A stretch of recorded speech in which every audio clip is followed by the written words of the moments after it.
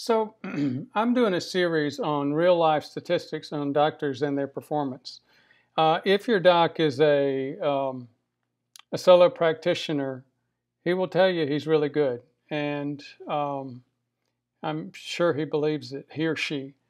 Uh, the problem is, in a solo practice, you never have somebody hold up the mirror and show the doc how they're actually performing compared to others. Um, that's what this um, this series is about. And I've showed these statistics. Um, how would I know this? Again, as I've told you in many other uh, videos, I am, have been a career medical director. I trained in preventive medicine at Hopkins, and I've spent most of my career since then supervising large groups of, um, of doctors, 500, 800, and more. Um, these are some statistics from a company I uh, worked with a long time ago. And again, these are, are true numbers. They show a significant um, difference in the ability of doctors to perform, especially in the area of prevention. Today, we're going to be talking about malnutrition. Uh, to orient you, if you haven't seen the other videos, uh, malnutrition is the cluster number four, the fourth from I believe it's your left on the screen.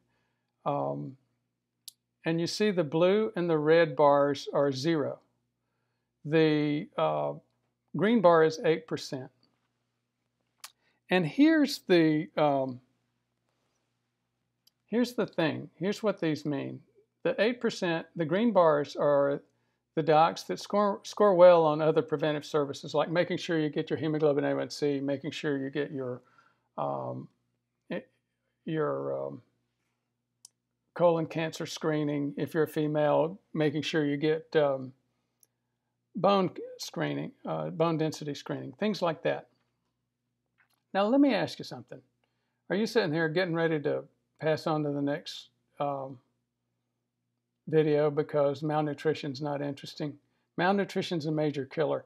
It's actually been rated 0.78 by, by uh, Medicare in terms of danger for patients, and that is it, it is one of the most highly rated items. Now, how do they rate it? The actuarials look at the probability of somebody getting really sick, ending up in the hospital, disabled, and or dying. So um, malnutrition is something that people don't really think about.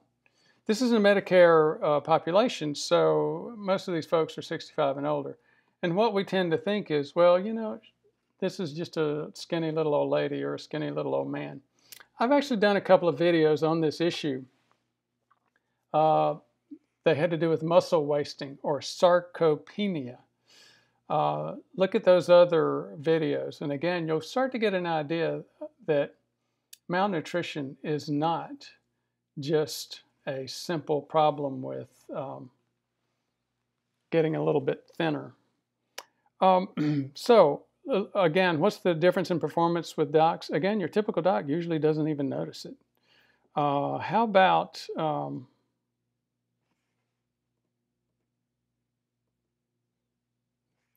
how prevalent is it then? Well,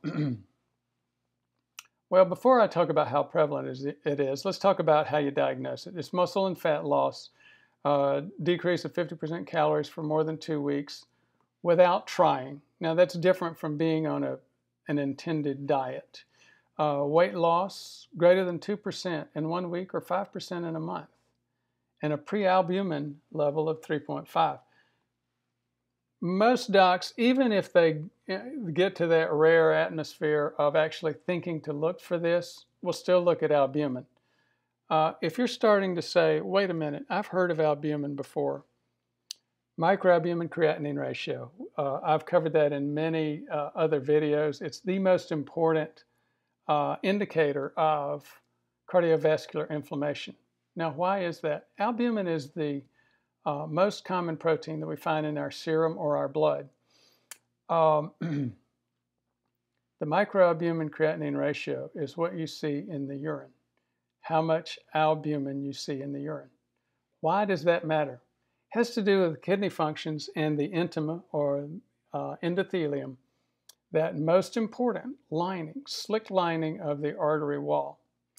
The kidneys are nothing but a filter, and the filter membrane is um, the intima, the endothelium. So if you have uh, damage to that endothelium, which is the number one cause of inflammation, um, then you will be letting the most common protein in your blood get through into your urine. That protein is albumin. So that's why the microalbumin creatinine ratio is very important. Now, when you start getting into, when the um, body starts getting into protein calorie malnutrition, what happens is you stop making enough of that albumin. Now, why don't we measure albumin? Why do we need to measure prealbumin, as I mentioned? It has to do with some other components of metabolism and how albumin is stored. Uh, again, prealbumin is the is the thing to look for. Um, let me uh, talk for a little bit about um, other ways to look at this. Usually if you've got a BMI of 18 and a half or less, we start, you really do need to start thinking about malnutrition. Um, and again, it's not, don't think, well, it's just a little old, skinny little old man or a skinny little old lady. These folks are in danger. And if you have a loved one in this condition, um, think about it and focus. Now, again, how often does this happen? Well, it's 4, 4 to 10% um, the best we know in terms of a statistic for people living at home, again, 65 and older. Uh, 17 to 65% in nursing home residents, 35 to 60% in, in older folks with poor dental status, dementia, or depression. And it's even higher for older folks that are in the hospital. So, again, keep an eye on this and then, again, don't think, well, it's just a skinny person. This person's in danger. And why does all this matter? You can get them out of that danger. You have to work with them to get them to eat. Now, uh, let's go uh, talk about how do you, uh, how should a doctor be assessing this?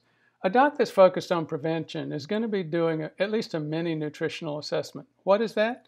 This is here on this um, on this view, they uh, here's a, it's just a few questions that you ask the, the patient and or family. Has food intake declined over the past three months due to loss of appetite, uh, digestive problems, chewing or swallowing difficulties? Weight loss over the past three months. Um, mobility. Mobility and uh, neuropsychological problems are one of the major danger areas for this. If somebody can't get out of their bed or their chair, do you think they're going to eat when they need to? And when do you have problems getting out of bed or in a chair? If you've got dementia or if you've had a stroke. People with dementia and strokes have huge risk for developing uh, protein calorie malnutrition. Again, BMI is, is an obvious one.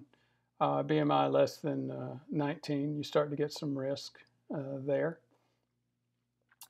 Uh, calf circumference, that's another way of looking at it. Just look at the uh, how big the calf of the leg is. That's one of the first areas that starts wasting away. And uh, I didn't mention de uh, depression. We did mention dementia, but not depression. Depression, again, in uh, thin older people is a, a significant risk factor because they just tend to not eat. So that uh, gets us through looking at the real life statistics for docs and their ability to pick up uh, protein calorie malnutrition. If you're in your 50s, 60s, uh, quite often you're not, you don't have danger of this. But again, if you know somebody that's 65, in their 60s, 65 especially, or older, who is a thin old man or a thin old lady, begin thinking about this. You could save their life. Thank you for your interest.